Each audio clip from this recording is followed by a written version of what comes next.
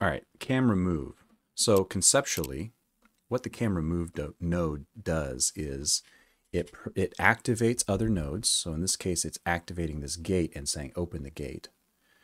Um, but when the node itself is activated, and this is only visible in the level editor, when the node itself is activated, say by a button push, this button activates that camera move.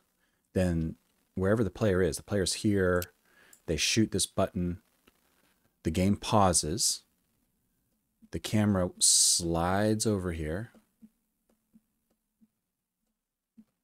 Then this node activates, which will open this gate. Um, when the gate opens, it activates this dialog. And then after a second or so, the the camera slides all the way back to the player and then the game unpauses control returns to the player and they can go on with their life. Uh, let me show that in action real quick. Because i added a bunch of effects as well and i want to talk about those a little bit too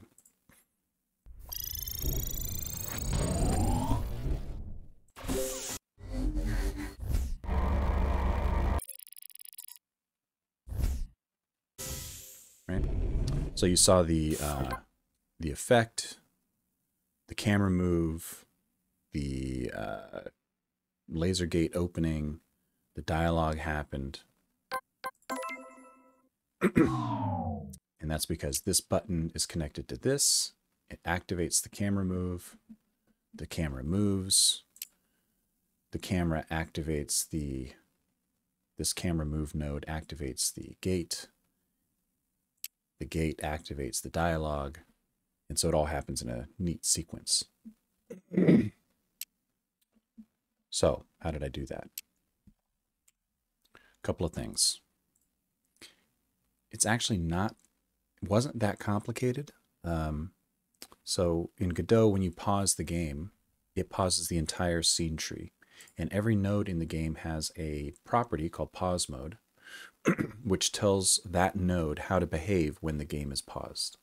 If the if the scene tree is paused, then do this, right? So in this case, this particular node says process, which means if the game is paused, just keep doing what you're doing.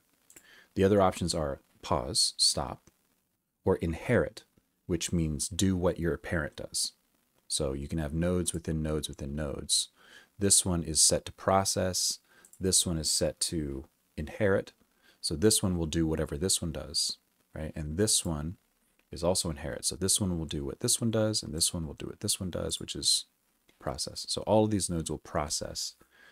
Uh, and there are certain nodes in the game that do that.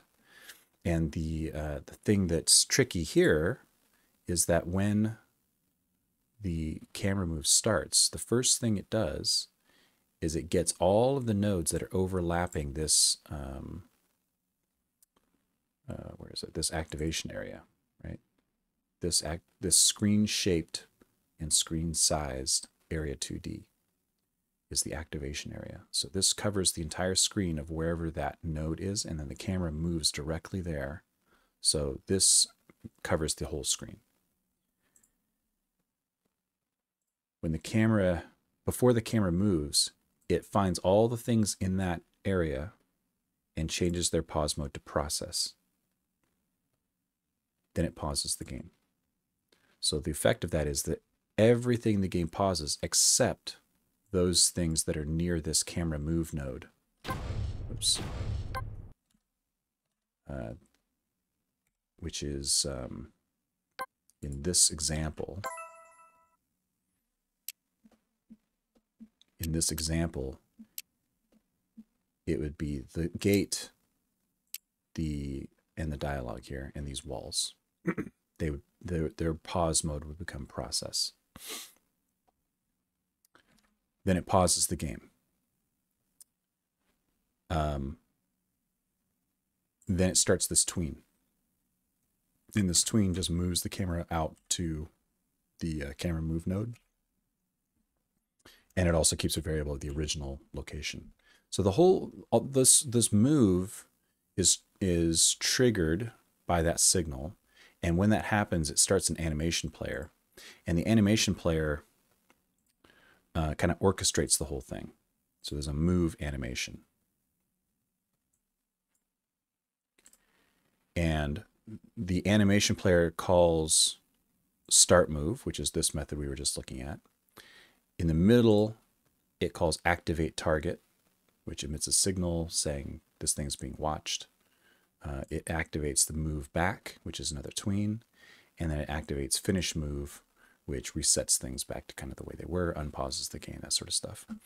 Uh, it also plays some audio clips, and it it animates the opacity and visibility of a couple of different animation or uh, textures. These are full screen textures. One is a vignette uh, that just covers the whole screen. It's these dark corners here, like that. And then the other one is is this scan line thing, which are it's a shader.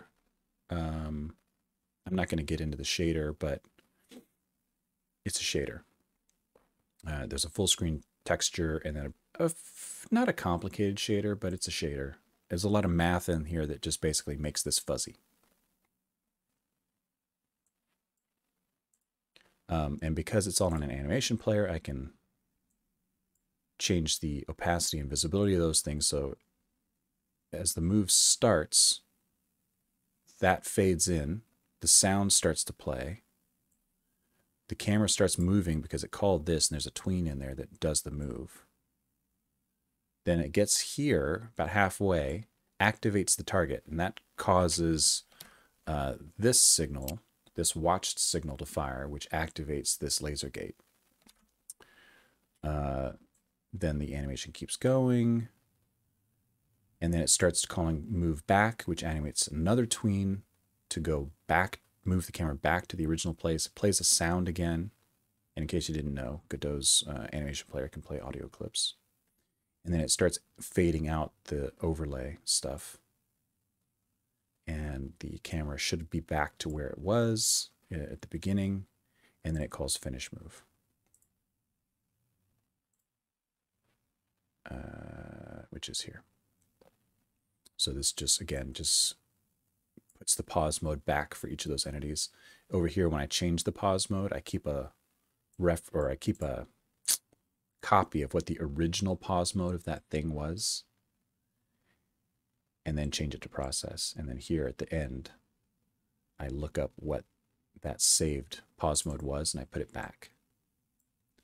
Uh, unpause the game, emit a signal for other nodes that this thing is finished and it's done the trick, well, there's, I mean, so that's it. Uh, the main thing that was causing me trouble when I was first doing this was I was doing these in the wrong order. I was pausing the tree first, like this, and then doing this stuff. But some of this stuff doesn't work if the game is paused. This doesn't work in particular. So you need to do that first, then pause the game. Makes sense in hindsight, but it, it was causing me problems in the beginning. Um, right. So that's the code. And then, the, so there's just a bunch of little things, right? Like um, this overlay uh, was something that I felt it needed just to show that it's kind of like, it's like a transmission from your mothership to the player, letting them know that this camera move, it's not something they're in control of, it's something different and unique. Um, right? This whole thing, this whole overlay here. Um, it plays a sound. It actually plays two sounds. There's a uh, uh, kind of a wow, and then there's a whoosh, whoosh right there, and then another whoosh, whoosh when the camera moves back.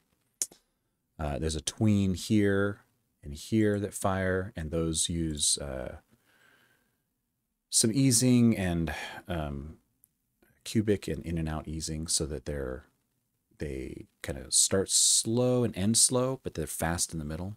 So it's kind of a smooth like whoosh uh, for each one.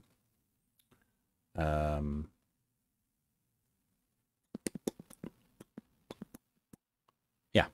so there's a lot that goes into this. but the effect ends up being, you know, I mean, it's nice. I like it, but it's it's fairly, I don't know, I'm hesitant to say simple. But to a player, that seems fairly simple, I think.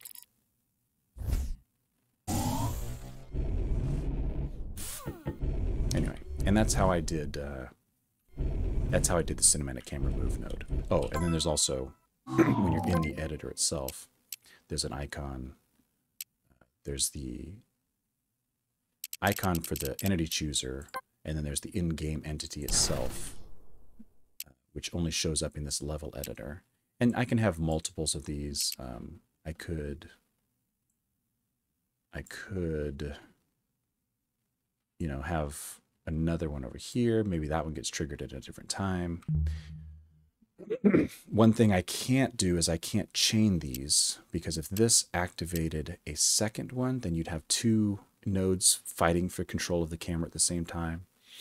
Um, that was a feature I was thinking of adding, but I, I don't think so.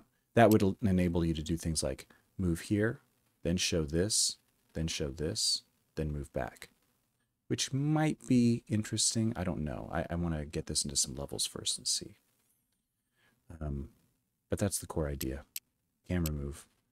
Took a couple days to do, but I think it's going to be worth it. And I'm going to go back through some of the original levels and work it in now.